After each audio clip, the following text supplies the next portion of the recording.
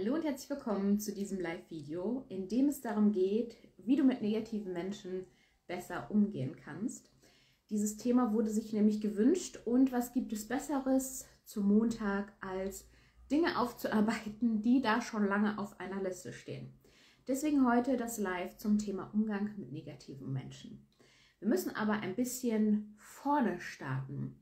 Denn erstmal ist ja wichtig zu erkennen, was sind denn negative Menschen? Was sind denn Menschen, mit denen ich den Umgang vielleicht verändern sollte?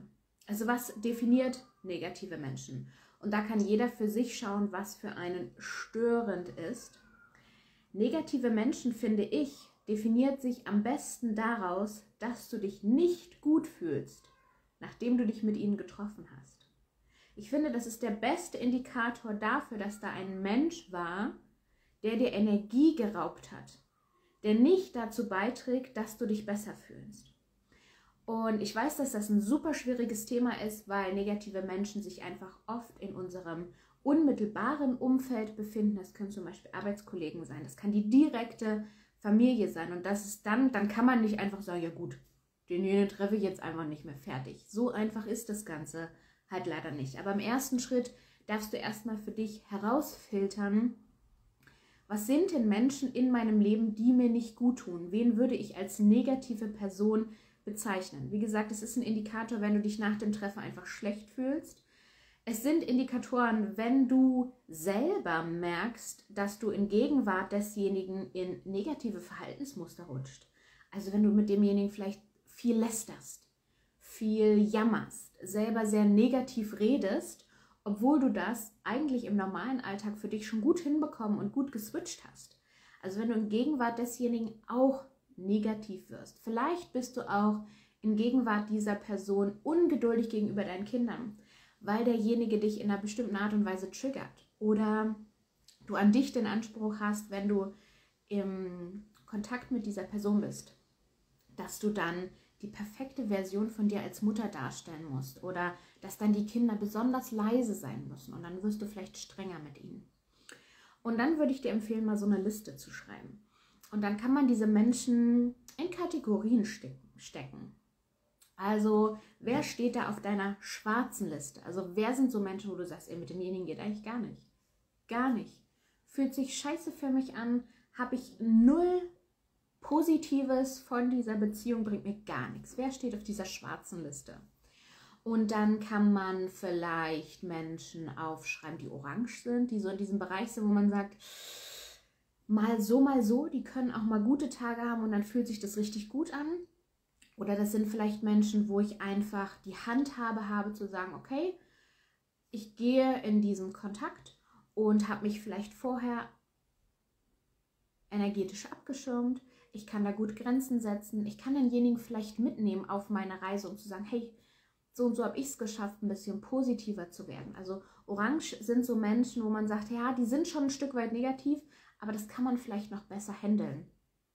Und dann würde ich auch mal eine Kategorie grüne Menschen machen. Grüne Menschen sind halt eben die positiven Menschen. Und um ehrlich zu sein, ich glaube, die wenigsten von uns haben da viele Leute, die in den grünen Bereich gehören. So schlimm das eigentlich ist, aber das ist eben so ein roter Faden, der sich durch unsere Gesellschaft zieht. Jammern, meckern, lästern, schlecht über andere reden, aber ja nicht irgendwie einen positiven Blickwinkel auf die Dinge und auf die Menschen, auch mehr Mitgefühl und Empathie füreinander. Also kategoriere, kategoriere, kategorisiere die Menschen in deinem Umfeld doch mal in diese drei Kategorien. Schwarz ist, geht so gar nicht. Orange hm, kann man einen Weg finden und grün, das sind die Menschen, mit denen ich eigentlich mehr Zeit verbringen möchte. Und die dürfen auch online sein. Online können aber tatsächlich auch die negativen Menschen sein. Den kannst du dann gerne einfach entfolgen. Aber auch hier gilt dieses, ich muss erstmal rausfinden, welche zum Beispiel Instagram-Accounts mich schlecht fühlen lassen. Welche geben mir zum Beispiel das Gefühl, es nicht zu schaffen, eine schlechte Mutter zu sein, dass mein Haushalt halt immer aussieht wie Sau. Dass meine Kinder nicht den ganzen Tag weiße Klamotten tragen können. Ich weiß es nicht die Leute, die in deiner Kategorie schwarz sind, im besten Fall Kontaktabbruch. Also wenn das Freunde sind oder Bekannte, dann breche den Kontakt einfach ab und dann obliegt es dir, das einfach so zu tun ohne dann noch eine Erklärung hinterher zu schieben oder es einfach zu erklären. Und dann muss man ja nicht sagen, du bist ein Riesenarsch, mit dir will ich nichts mehr zu tun haben, sondern man kann auch einfach sagen, ich möchte mich jetzt mehr auf mich konzentrieren. Und gerade brauche ich Abstand von dir.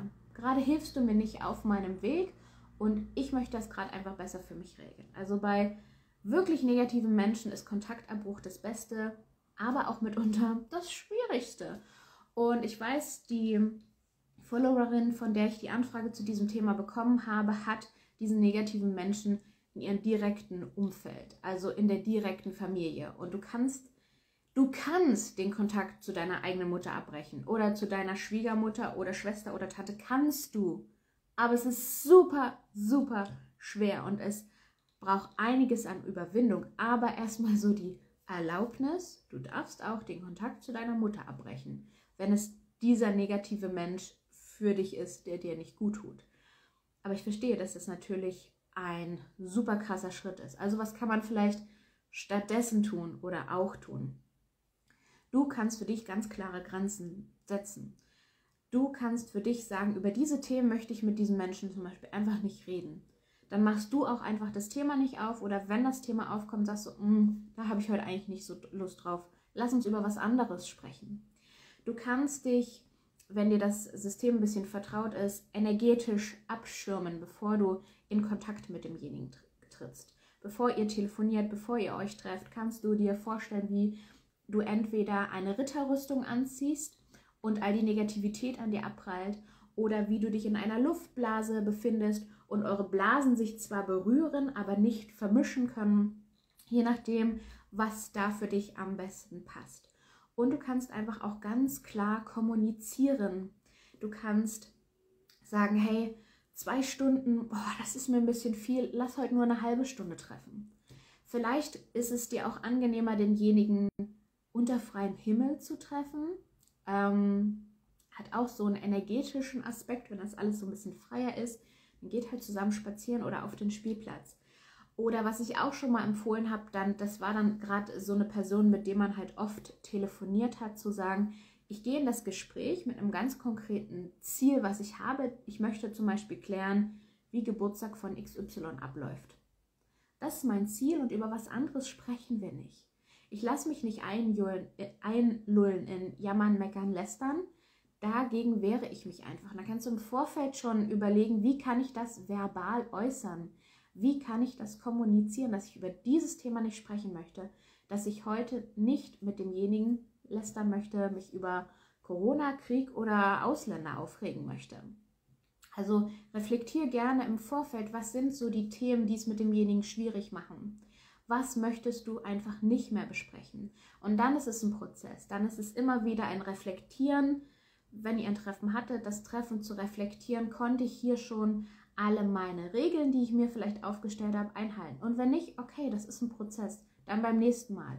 Und irgendwann wirst du an einen Punkt kommen, wo du schon einfach eine ganz andere Haltung hast. Der andere vielleicht gelernt hat, darüber brauche ich mit dir gar nicht sprechen. Oder aber du viel schneller merkst, wenn das jetzt hier sich zu einer Situation entwickelt, die dir nicht gut tut. Und dann kannst du immer die Situation verlassen, ich muss mal schnell auf Toilette. Und dann hat sich dieses Gespräch gerade schon wieder aufgelöst. Oder eben du selber klarer wirst in, nee, darüber möchte ich eigentlich gerade nicht sprechen. Lass uns doch lieber über was Schönes reden, über den Sonnenschein, über das leckere Essen, was wir gerade hatten, über das tolle Erlebnis, was die Kinder letztens hatten. Oder, oder, oder, oder, oder.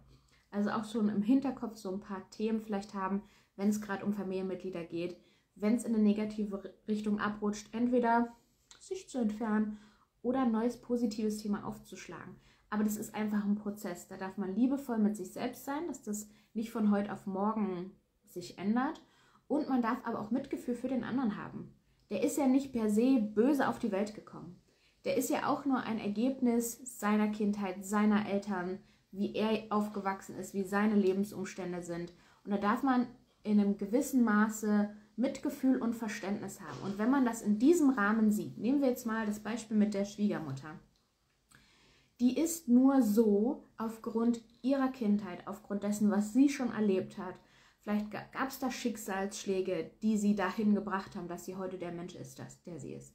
Und wenn ich mit diesem Mitgefühl und diesem Verständnis in das Treffen, in das Gespräch gehe, macht das für mich auch schon vieles einfacher, wenn ich einfach Verständnis für den anderen habe. Ich muss das deswegen nicht gutheißen oder gut finden, aber es hilft zu sehen, derjenige ist nicht per se böse auf die Welt gekommen.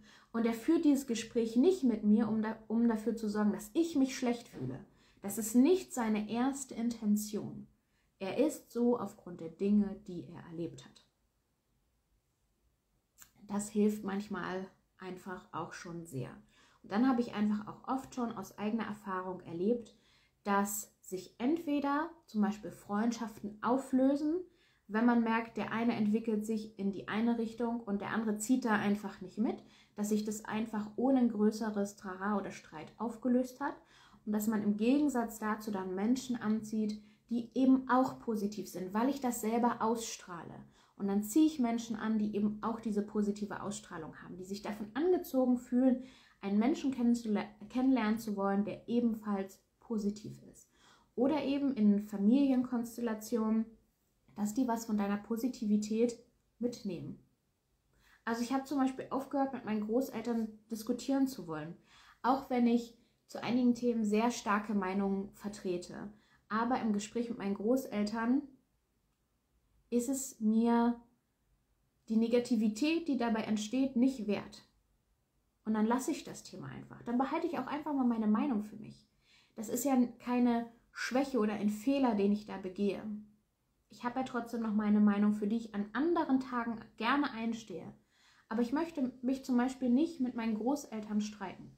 Die sind beide über 80 Jahre alt. Ich möchte gerne mit denen noch eine schöne Zeit haben.